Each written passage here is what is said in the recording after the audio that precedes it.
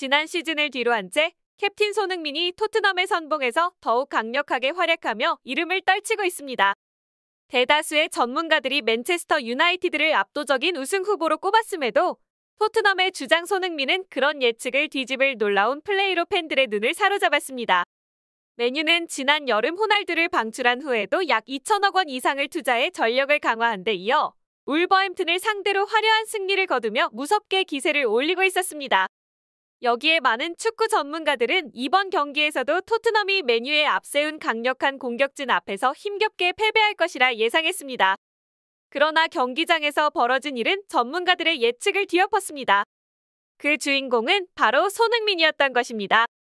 그는 이날 평점 8.1을 기록하며 경기의 MVP로 뽑혔고 토트넘의 승리에 결정적인 역할을 했습니다. 그의 눈부신 플레이는 메뉴의 수비진을 완전히 허물었으며 특히 4번의 치명적인 패스로 아군 공격진의 활로를 열었습니다.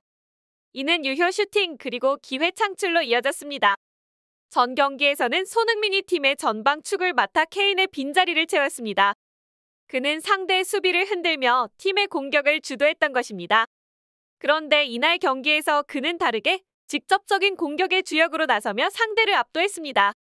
토트넘 선수단 중에서도 손흥민의 활약을 가장 크게 칭찬한 사람은 동료 로메로였습니다.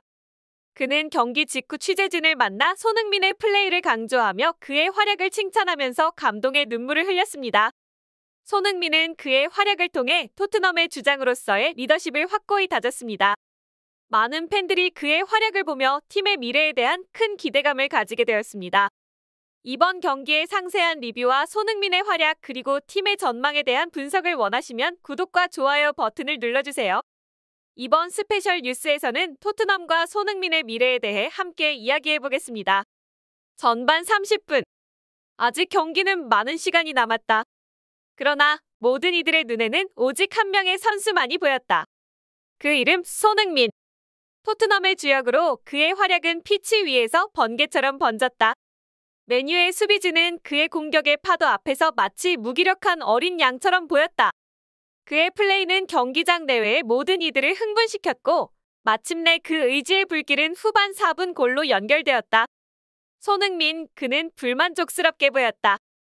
하나의 골로는 만족하지 않는 듯 그리하여 단 3분 후 그의 발 밑에서 또 다시 경기를 바꿀 치명적인 패스가 탄생했다.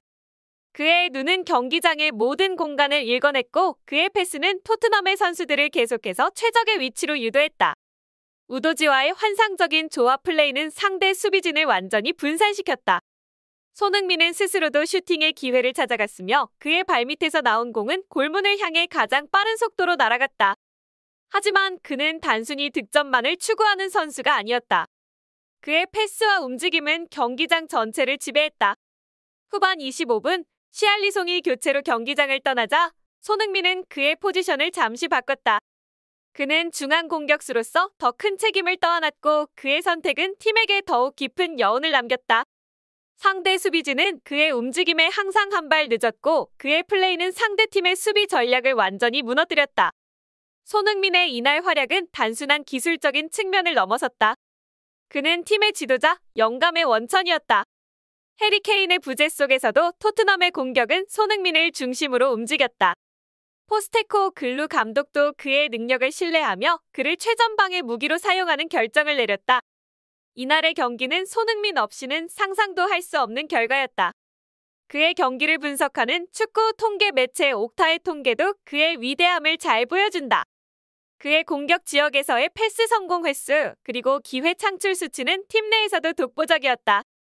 토트넘과 메뉴의 이 경기는 단순히 승리와 패배를 가리는 경기가 아니었다. 그것은 프리미어리그의 황제로 부상하는 손흥민의 위험을 보여주는 순간이었다. 그는 단순히 한 경기의 승리를 가져다 준 선수가 아니라 토트넘의 미래와 꿈을 이끌어갈 핵심적인 인물로 자리매김했다. 손흥민 선수의 활약은 영국의 주요 매체들을 통해 온 국민에게 전해지며 한국 축구의 자부심으로 떠올랐습니다. 공격수로서의 역할에 그치지 않고 패스와 조율로 팀을 이끄는 그의 능력은 세계적인 주목을 받았습니다. 영국 이브닝 스탠다드는 손흥민 선수가 맨유 수비의 라인을 넘어서며 경기장을 누비고 다녔다.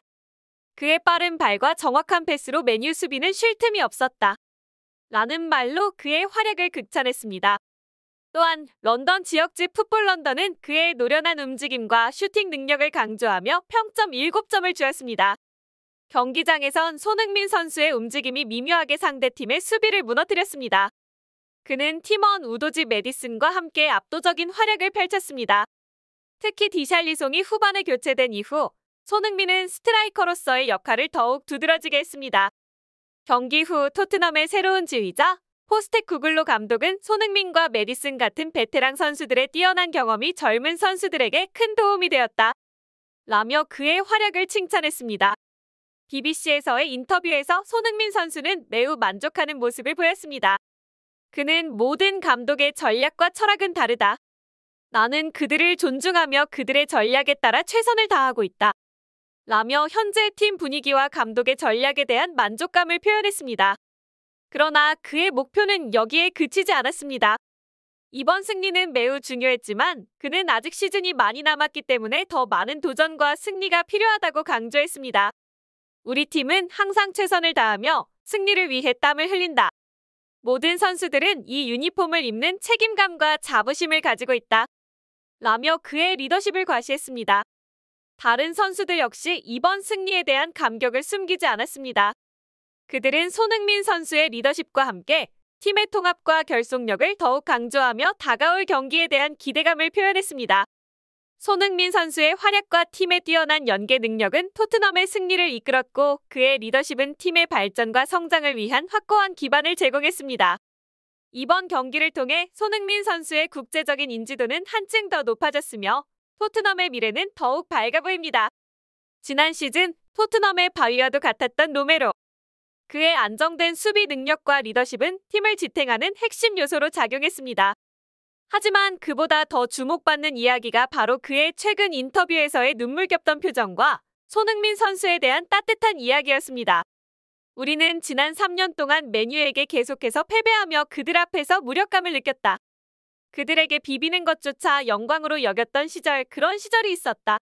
로메로의 목소리는 떨렸습니다. 하지만 이번 경기에서는 다르게 될 것이라고 믿었다. 소니가 라커룸에서 큰 소리로 말했던 그 한마디 가서 박살내보자. 그 말에 팀 전체가 힘을 얻었다. 로메로의 눈에서 떨어진 눈물은 그의 깊은 감정과 팀에 대한 애정을 전하였다. 그는 계속하여 이야기했다. 손흥민이 아니었다면 이렇게 큰 승리는 없었을 것이다. 우리 캡틴에게 큰 고마움을 느낀다. 사실 많은 팬들과 전문가들 사이에서는 손흥민 선수가 처음 토트넘의 주장이 됐을 때부터 그의 리더십에 대한 의문이 제기되기도 했다. 그럼에도 불구하고 손흥민 선수는 그 누구보다도 팀을 위해 최선을 다하는 모습을 보여줬다. 그의 성장은 무엇보다도 팀 내에서의 리더로서의 위치를 확고히 해주었다. 이제는 손흥민 선수의 재계약 문제가 큰 관심사로 떠오르고 있다. 그의 능력과 팀에 대한 애정 그리고 리더로서의 자질을 높이 평가하는 유럽의 대형 클럽들이 그에게 손을 흔들고 있다. 그렇다면 손흥민 선수는 어떤 결정을 내릴 것인가? 토트넘에서의 주장으로서 더 많은 시간을 보내며 팀의 전설로 거듭나고 싶을까?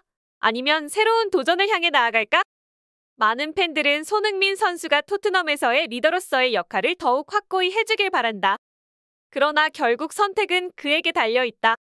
그의 선택을 존중하고 무엇이든 그를 응원하며 기다릴 준비가 되어 있다. 손흥민 선수의 미래에 대한 여러분들의 생각과 기대, 그리고 바램을 댓글로 남겨주세요.